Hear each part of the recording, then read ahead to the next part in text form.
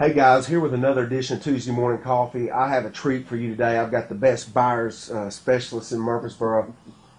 All kidding aside, Tommy Davidson is with me. Tommy's been with me for gosh, how long now, Tommy? 20 years, 20 at least. we started when we were 12. Actually, Tommy's been with me for seven, eight years. And Tommy um, has probably walked through about every home in Murfreesboro on the market. He shows a ton of property, works with a lot of buyers.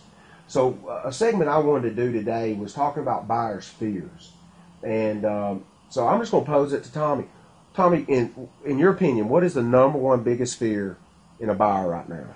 I think definitely the number one biggest fear is that they have a fear of paying too much for the home right now. Now, is a lot of that because of the market we're in, and the media is telling us it's a buyer's market, and Definitely. And uh, they had a friend that bought in 07, 06 maybe, and they see they're they're struggling or they're upside down in their home or they they turn on CNBC and uh, they hear about all the foreclosures.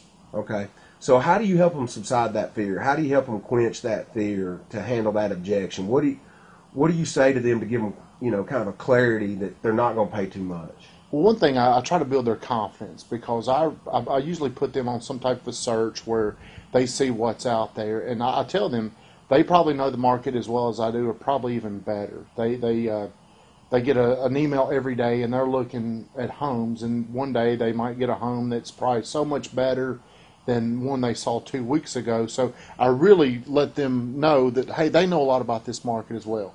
You know, I was at a seminar a couple of weeks ago, and uh, a guy, the, the, the, the, the teacher said, typically the buyer is the smartest person in the market. They get it.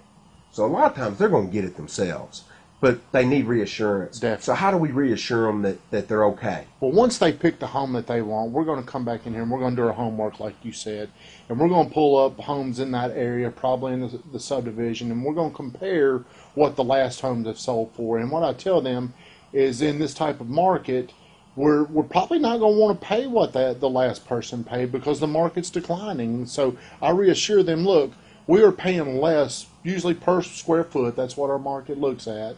We're paying less than what the last person paid, and usually we're paying less than anybody else has. Right, right. What What's another safeguard in our market that they have, just in The- case everybody's wrong?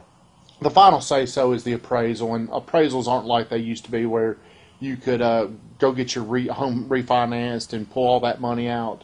Uh, the appraisal is much more accurate. They they um, Much more conservative. they There's are been very a lot conservative, very conservative. uh, a lot of uh, reform to, to that industry. Definitely.